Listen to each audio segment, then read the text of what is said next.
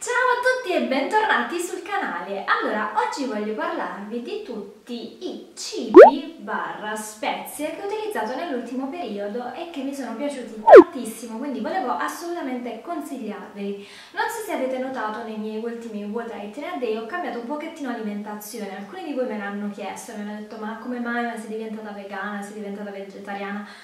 No, non sono tutto ciò, ma sto cercando di sperimentare nuove ricette, cioè mi piace tantissimo sperimentare queste ricette vegane dove magari non c'è la carne, dove non ci sono derivati animali. E eh, vedere se appunto sono uguali alle originali. Mi piace tantissimo questa cosa e quindi ultimamente sto mangiando così, però non vi nego il fatto che sto evitando la carne, cioè proprio non la sto mangiando ultimamente. E eh, questa cosa non mi dispiace affatto, però può capitare insomma di vedere nei miei quotidiani che magari mangio del salmone o magari del petto di pollo, è normale perché comunque come vi ho detto non sono vegana e non sono vegetariana, cerco comunque di mangiare sano Uh, quindi non mangio tutti i giorni carne, assolutamente no, può capitare una volta a settimana, o comunque pesce, idem, può capitare una volta a settimana, ma non è che mangi chissà che cosa, cioè l'unico pesce che mangio sono magari i calamari, può capitare, quindi la frittura che proprio non riesco a farne a meno, mi piace tantissimo, e uh, il salmone, idem la carne, l'unica carne che mangio è il petto di pollo, quindi la carne bianca, per il resto non sono una grande mangiatrice di carne. Voglio farvi vedere alcuni cibi che sto amando e che voglio consigliarvi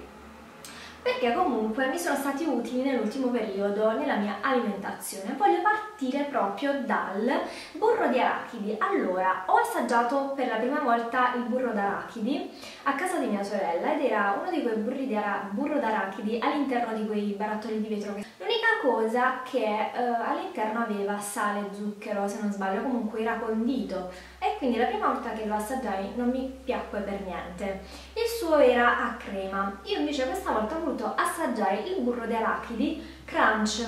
Allora, questo burro d'arachidi che ho preso da MyProtein è un burro d'arachidi naturale, all'interno non c'è né sale né zucchero, infatti tra gli ingredienti c'è scritto 100% arachidi. Allora, è burroso, però all'interno ci sono i pezzettini di arachidi, quindi è crunch ed è un sapore migliore secondo me al burro d'arachidi. Quante volte avrò detto burro d'arachidi? Contatelo, poi fatemi sapere.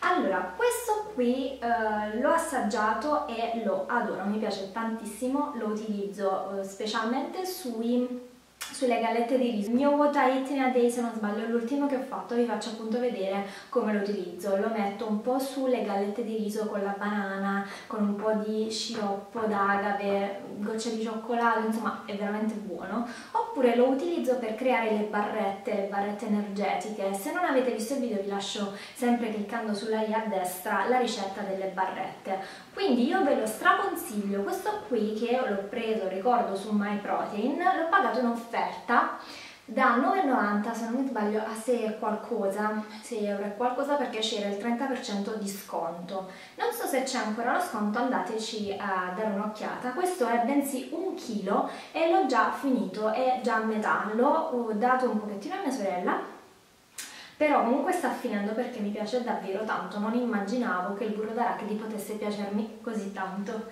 Sempre da uh, MyProtein vi consiglio assolutamente di acquistare è questo sciroppo di agave, 100% agave ed è bio questo qui.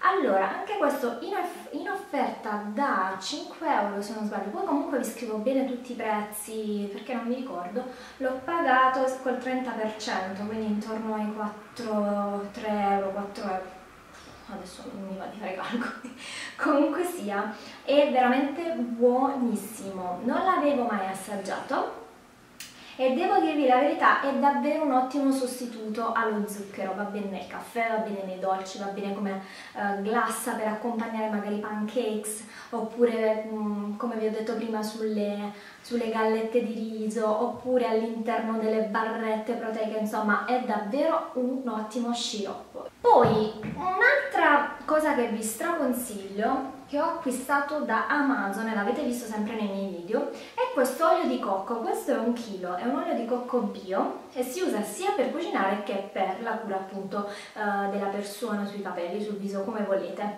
è molto versatile ed è ottimo per l'alimentazione vegana e vegetariana. Questo qui lo tengo in frigo perché ho paura che col caldo irrancidisca, quindi lo lascio lì e poi magari quando lo devo utilizzare riesco comunque a prendere un cucchiaino, anche se è solito tanto si scioglie subito sulla padella e eh, mi sta durando tanto ovviamente perché ne utilizzo pochissimo giusto per cucinare o magari giusto per metterlo un pochettino sulle punte dei capelli, ecco tutto. Questo qui che ho preso ricordo da Amazon l'ho pagato 12,99€ senza spedizione se non sbaglio, però senza spedizione perché mi sono trovata a, um, con questa offerta, ma credo che la spedizione sia all'incirca 4,90€, massimo 5,99€, non di più è arrivato prestissimo, tipo in 5 giorni.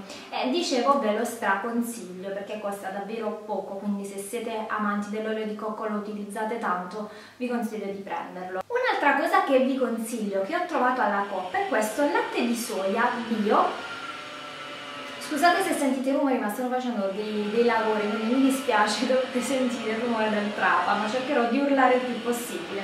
Questo è senza glutine, senza zuccheri aggiunti, fonte di proteine e con calcio. Allora, questo latte di soia mi ha colpito, non è bio, ho letto bio, non so perché, è, la, è soia sì la marca, ho letto bio, vabbè e mi ha colpito tantissimo perché è una bevanda senza zuccheri all'interno ed è raro trovarne senza zuccheri e senza altre schifezze all'interno. Vi dico quello che c'è. Acqua, semi di soia di origine italiana decorticati, il 6%, di solito all'interno del latte di soia comunque la percentuale è quella 6-7, è raro trovarne di più eh, calcio carbonato 0,3% e sale marino, quindi mi sembra un ottimo latte eh, di soia, è molto pulito come, come inci, tra virgolette. Io ho visto eh, tanti tanti insaporitori, tanti conservanti, insomma eh, non è proprio il massimo, mentre questo sembra abbastanza mh, mm, pulito e naturale. Allora, mh, mm, questo qui è ottimo non solo da bere, ma soprattutto è ottimo per preparare in casa delle salsine. Per esempio è ottimo preparare la maionese con questo, proprio per il fatto che non ha lo zucchero all'interno, quindi la maionese davvero davvero buona, soprattutto con qualche spezia. Io vi, vi consiglio di utilizzarlo.